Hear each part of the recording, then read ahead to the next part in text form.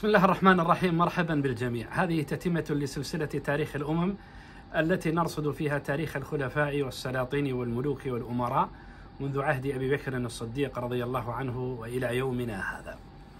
انتهى كلامنا حول الفتوحات التي تمت في عهد عمر رضي الله عنه في بلاد العراق وفارس وجاء دور الكلام عن فتوحات عمر رضي الله عنه في أرض الشام وهو بطبيعة الحال أكمل الفتوحات في أرض الشام التي بدأها أبو بكر رضي الله عنه كما صنع في أرض العراق. ما الذي جرى في عهد عمر رضي الله عنه في أرض الشام؟ وصلت رسالة إلى أبي عبيدة عامر بن الجراح رضي الله عنه وهو من قادة المسلمين ولم يكن القائد العام بل كان القائد العام هو خالد بن الوليد رضي الله عنه. فوصلت هذه الرسالة من عمر رضي الله عنه يخبره بموت أبي بكر الصديق وأنه قد تولى خلافة المسلمين. وأمره بعزل خالد بن الوليد وأن يتولى هو قيادة الجيوش. طبعا هذا الأمر هال أبي أبا عبيدة ووقع أبو عبيدة في حرج كبير. نحن الآن على مشارف معركة اليرموك. ومن الصعب أن يتم مثل هذا القرار العسكري الصعب أن تعزل القائد. فهذا القائد قد تأخذه حاشاه من ذلك بطبيعة الحال العزة بنفسه وينحاز بجيش المسلمين وينحاز معه طائفة من المسلمين.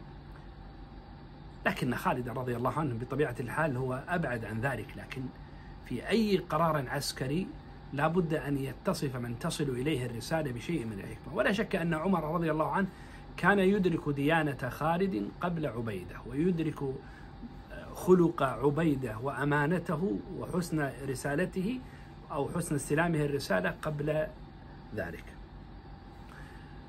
أخذ أبو عبيدة الرسالة وأخبر بها معاذ بن جبل رضي الله عنه وقال له لا تخبر خالدا حتى ينتهي الأمر. وصل الأمر إلى خالد قبل معركة اليرموك. وعجب خالد من فعل أبي عبيدة. كيف أصلي أنا بالناس إماما وأنت ورائي وأنت قد جاءك الأمر من عمر بتعيينك قائدا عاما للجيش؟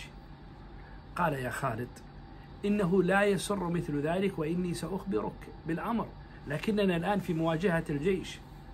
فعزل خالد نفسه مباشرة ولم يبدو منه أي اعتراض بل إنه سلم أمره إلى عمر وأبي عبيدة وكان خير معين لأبي عبيدة رضي الله عنهم جميعا الآن قبل أن أتكلم عن فتوحات الشام وما جرى في معركة اليرموك وبعدها هل كان هناك شيء من حظوظ النفس بين عمر وخالد بن الوليد؟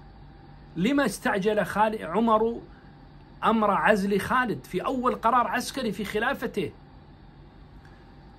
طبعا حظوظ النفس غائبة عن نفوس وصدور عمر وخالد. وإنما رأى عمر أنه من المصلحة الإيمانية التربوية العقدية في نفوس الجيش أن يعزل خالد. وهو يعلم يقينا أن عزل خالد لا يعني أنه ينفى إلى بلد من البلاد. وأن خالدا سيبقى رهن القيادة العسكرية وسيبقى كما عهده المسلمون فاتحا مجاهدا في سبيل الله. لكنه خشي من مقولة الناس التي انتشرت, انتشرت إنما ننصر بخالد. هكذا كان يقول الناس خالد يا سادة قال فيه ابن كثير رحمه الله في تاريخه وخالد بن الوليد لم يهزم في جاهلية ولا في إسلام. خالد كلما أتى إلى بلدة أو قرية سلمت نفسها كلما أتى إلى معركة انتصر فيها في الجاهلية وفي الإسلام حتى صار الناس يتحدثون إنما ننصر بخالد. هذا يضعف حسن الظن بالله يضعف الثقة بالله يصبح تعلق الناس بالمخلوق وليس بالخالق. هكذا فهمها عمر رضي الله عنه. ولذلك لم يتردد خالد في قبول أمر عمر. انتصر المسلمون في معركة اليرموك بقيادة أبي عبيدة وكان معه خالد ومعه سادات المهاجرين والأنصار والتابعين بعد أن وضعت الحرب أوزارها من اليرموك بدأ الروم يحاولون جمع شتاتهم فأين الوجهة الآن بالنسبة للمسلمين؟ عندهم وجهتان، الوجهة الرئيسية الهدف الأول وهو فتح دمشق. دمشق تعتبر أقدم مدينة تاريخية. ودمشق بالنسبة للروم كانت مدينة ذات بعد تاريخي وسياسي واستراتيجي مهم، وكان هرقل يقيم فيها. فمن المهم أن يحافظوا عليها، وكانت محصنة بسور منيع جدا. ولذلك حرص المسلمون على فتحها لأنه إذا فتحت سيسهل فتح المدن الأخرى لكن المشكلة هناك في فحل التي تسمى اليوم بطبقة فحل وتقع شمال الأردن بالقرب من إربد هناك قوة نصرانية تهدد المسلمين. وقد عهد أبو عبيدة إلى بشير بن كعب الحميري أمر هذه القوة. لكن الآن إيش يصنع بالجيش الإسلامي؟ هل يتوجه إلى فتح دمشق؟ وهو الآن موجود في الأردن. خالد أبو عبيدة وجيشه موجودون في الأردن. هل يتوجه هنا بمكان قريب من جهة إربد؟ ولا يتوجه مباشرة إلى دمشق في سوريا اليوم. ما أعرف إيش يصنع. وهذا الأمر يحتاج إلى مشورة فأرسل رسالة إلى أمير المؤمنين عمر رضي الله عنه. وعمر موصوف بالحكمة والدهاء العسكري والبعد السياسي والاستراتيجي قال عمر بل توجه إلى دمشق. فإنها حصن الروم. هي الهدف الأول. لكن لأنك تخشى من قوة موجودة في الفحل أو في طبقة فحل أو فحل فأرسل إليها قوة من الخيل لتصد عنك خيل الروم هناك. وهذا رأي حسن. ولذلك جمع أبو عبيدة جيش المسلمين وكانوا نحوا من أربعين ألفا. فيهم أبو عبيدة وخالد بن وليد وجماعات من كبار الصحابة والمهاجرين والأنصار وأرسل قوة إلى فحل. وبدأ وبدأت الجيوش الإسلامية تتوجه إلى دمشق. أربعون ألف مقاتل. في حين أن هناك من الروم ثمانون ستون ألف مقاتل وهناك مدد سيأتيهم من حمص فيه أربعون ألف مقاتل وهناك أيضا مدد آخر سيرسله هرقل. يعني ستصل تقريبا قوة الروم إلى مئة ألف مقاتل مقابل أربعين ألف مقاتل. والمسلمون يعرفون أنهم لا ينصرون بعدد ولا عدد إنما ينصرون بالله. فتوجهت الجيوش الإسلامية إلى دمشق ووجدوها مدينة حصينة منيعة لا يمكن النفوذ إليها. وحاصروها حصارا شديدا واستمر حصار المسلمين لدمشق سبعين يوما. وقد وزع أبو عبيدة الجيوش الإسلامية جيش بقيادة خالد جيش بقيادة معاذ جيش بقيادة الكلاع وزعهم على الأبواب الشهيرة لهذا السور. وظن الروم أن المسلمين سيتركون الحصار بعد اشتداد البرد والشتاء لكن المسلمين كانوا أذكياء منصورين بالله واستفادوا كثيرا من الكنائس والمنازل المهجورة الموجودة في غوطة دمشق في نواحي دمشق في أطراف دمشق. استفادوا منها وأقاموا فيها كانوا يستريحون فيها ويتبادلون أحيانا. وشق ذلك على الروم. سبعون يوما والمسلمون محاصرون لهم. واستطاع المسلمون أن ينفذوا إلى نهر جار من تحت السور وأن يدخلوا بقيادة خالد رضي الله عنه وأن يفتحوا الباب. فلما رأى الروم فتح المسلمين للباب علموا أنهم مهزومون لا محالة ولذلك سلموا المدينة صلحا ولم يتم القتال فيها. وكان هذا على الصحيح في السنة الثالثة والعشرين من الهجرة بعد معركة اليرموك لكن هنا وقع خلاف. هل فتح دمشق كان صلحا أو عنوة؟ طبعا هذا له أحكام في الشريعة وهذا له أحكام في الشريعة.